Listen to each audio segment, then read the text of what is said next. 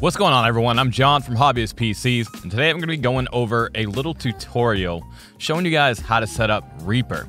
Now Reaper is a digital audio workstation, also known as a DAW. You'll probably hear it being called that in the audio space. And it's primarily used for recording and editing music projects, uh, voiceovers, anything that involves editing audio whatsoever you can do that within Reaper. One of the beautiful things about Reaper is that it's fairly inexpensive to use, especially if you're not making a ton of income off of your projects or if you're just doing it for fun. And at the same time, it's very powerful. It can do a lot with this particular DAW that you would normally not be able to do with some of I would say the more expensive DAWs that are out there. I guess the best comparison I can make with Reaper is that it pretty much competes in a way with Pro Tools on that level, I'd say. Now, it is an open source program, therefore, it usually tends to be modded by a lot of people, which can be a good or a bad thing. And its cheaper price tends to show itself in terms of the quality of the UI at times. So, in that respect, it does have a little bit of a learning curve, but once you get past some of those hurdles, it's actually incredibly easy to use. Now, in this video, I'm just going to show you guys how to get it set up so that you can do voiceover work. I'm not going to show you guys how to set it up, for example, um, recording uh, a band. So if you have multiple microphones that you want to record it with one time, I'm just going to focus on just voiceovers and just kind of giving you the basic setup. So that way you can get going with it, or maybe you can use it for uh, testing your microphone to try to get a good sound out of it. If you've seen any of my previous videos, you know exactly what I'm talking about. All right, guys, now that that's out of the way, why don't we go ahead and jump right into it?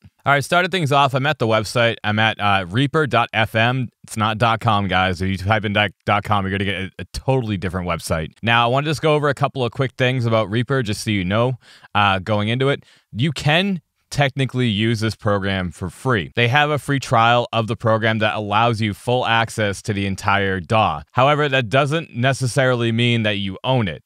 Unfortunately, because it is a trial version, if you were to, for example, uh, start doing projects and profiting off your projects that you do within Reaper, uh, if Reaper were to find out, for example, it would be considered unlicensed use of the product, and you could technically face litigation for it. And just to kind of go over the different versions you can buy, you can see that you can buy the discounted license for $60, and there really isn't much to it. You just have to simply make under a certain income. You can read through it. It says right here, you may use a discounted license if you are an individual and Reaper is only for your personal use, or you are an individual or business using Reaper commercially, and yearly gross revenue does not exceed USD $20,000, or you are an educational or nonprofit organization. Therefore, you can purchase the discounted license. Otherwise, you do have to pay the $225 However, when you compare the price of digital audio workstations nowadays to the price that they're offering, the commercial license really still isn't that much.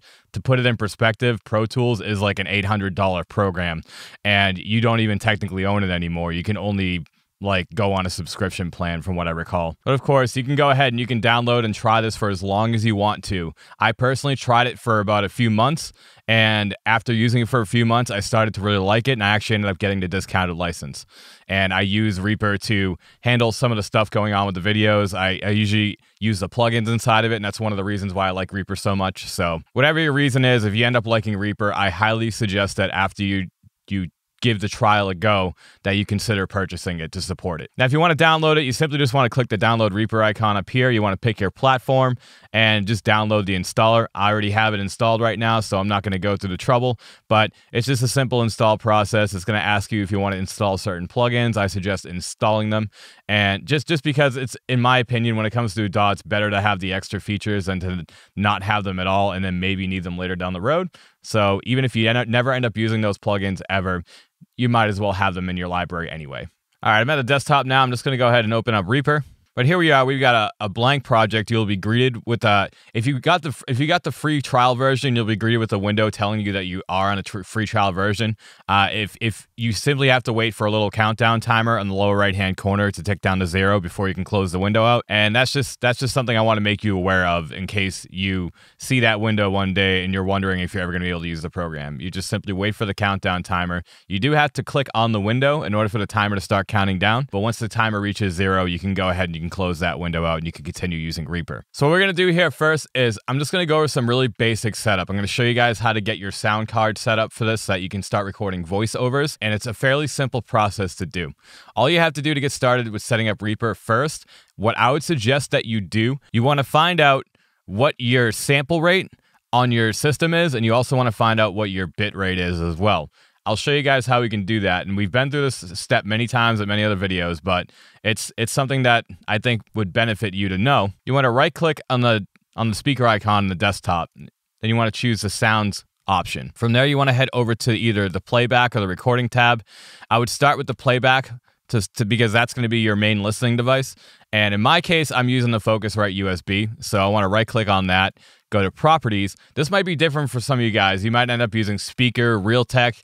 Um, you might end up using like some other device, whatever it is that you're using to listen to your audio, whatever your main sound card is. That's what you want to choose here. And you want to take a look and see what it can actually, it can actually do. But you want to head over to advanced and from here you can see that there are some options there's a little drop down menu and Right now, I'm set to 16-bit, 48,000 hertz. Now that's just for the main. That's just for the main desktop. Normally, when I'm when I'm streaming or if I'm just like playing games, I keep it at 16-bit. When I'm doing projects, I'm actually doing 24-bit because my interface is capable of handling up to 32-bit float. Now, 24-bit is usually sufficient enough. Even 16-bit is usually fine. I would recommend that if you have 24-bit available that you set you set Reaper to using 24-bit in your projects. However, in this case, you can see that we're at 48K, 48,000 hertz.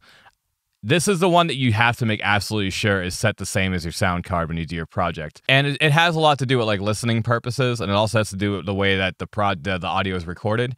If you, for example, recorded some audio at 44.1K, which is CD quality, that's that's a common sample rate that a lot of a lot of things use these days, but a lot of people are starting to move towards 48,000. If you were to take that 41 44.1 sample rate file and move it into 48,000, then it's not going to play back correctly. It might play back slower or faster, and it has to do with the way that sample rate works. I'm not going to get too deep into what sample rate is. I'll talk to you guys about it in a separate video because it's something that warrants that kind of discussion. But for now, just keep in mind that whatever your, your sound card is set to here, that's what you're going to want to set your project to. And same thing is going to apply for your recording device. If you go to the recording tab, I'm also using Focusrite USB. You want to go to properties, go to advanced, and then you can see that I'm at 24-bit, 48,000. Usually, I would recommend setting it to whatever your microphone is set to.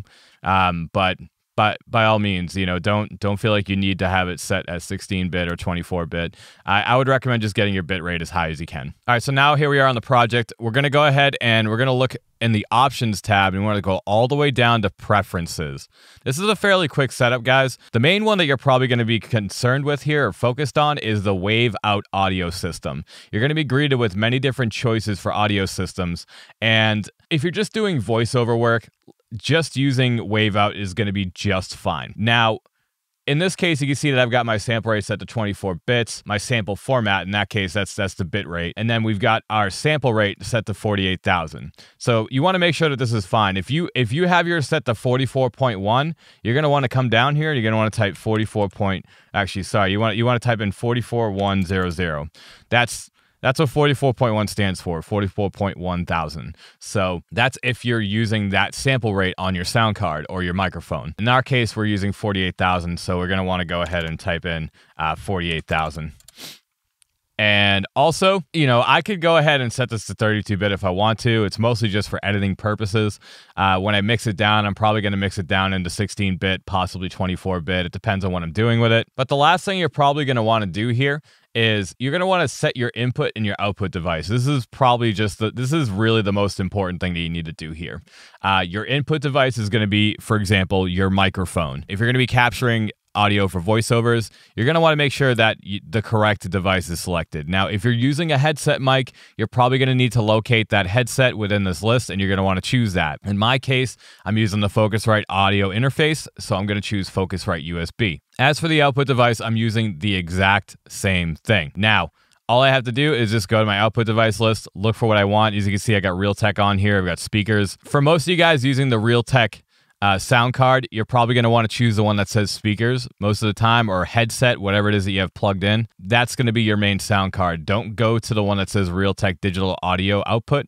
That's for, I think that's for optical. So you don't want to use this one right here. You want to use the one that's either labeled speakers or headphones, depending on what you're using. In my case, I'm using the USB audio interface, so I'm going to go with the Focusrite USB. And lastly, if you want to go ahead and try this, if you're experiencing a lot of issues of playback, one thing I would highly suggest is that you go down to your audio thread priority and you want to set that to highest. It's not something that I would say is required. Most people are just fine setting it to normal, but if you are running into playback issues, we're getting a lot of static and popping when you hit a playback and it doesn't quite sound right.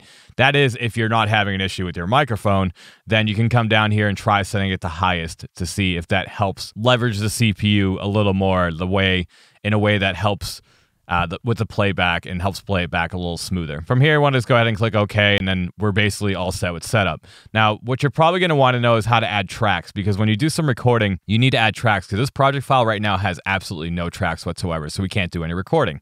You want to go ahead and on the left-hand side, and you want to right-click, choose insert new track. And you, you don't even have to just do that. If you want to record multiple different tracks, you can go down insert multiple tracks and you can specify what those are. But for now, we're just going to add one. From here, you know, to, to get going with recording, with the wave out selected, it's only going to use that one input device for every single track. If we were using uh, a different audio interface, we're recording multiple tracks at once, we would have to go in and specify on each track which microphone it's going to be using. But since we only have one device to worry about, we're just gonna, we don't, all we have to do here is just hit this little record button right over here that arms the track and makes it ready to record. You can see that right now I've got my decibel meter bouncing up and down, telling me what my levels are like. That's a really good way to test and see if your levels are good for your microphone going in. And then when you're ready to start recording, all you have to do is go down here to the, to the transport and this is where you can go ahead you can you can hit play you can stop the recording you can you can skip through it you can pause it. All you have to do is you hit this record button it's going to start recording. And as you can see you, you see these waveforms it's it's showing in real time as you're recording. And after it's done when you're when you're ready to finish recording you can either hit spacebar or you can just click the stop button down below. And then from there it's going to ask you if you want to save the files or delete them. In this case we're just going to go ahead and save and now we have a file that is usable. Now this headset is plugged right into my interface. I forgot to put it on, but I didn't really need it. And we're just going to listen back to the playback. From here, you know, we don't have to worry about this being unarmed when we play it back. We can leave it armed, but if you have multiple tracks that are armed and you hit record and you start recording a track you don't intend to, just keep track of what is armed for recording when you're doing recordings. So we just want to go ahead and just listen back to it. And as you can see, you, see these waveforms. it's it's showing in real time as you're recording, and after it's done, when you're when you're ready to finish.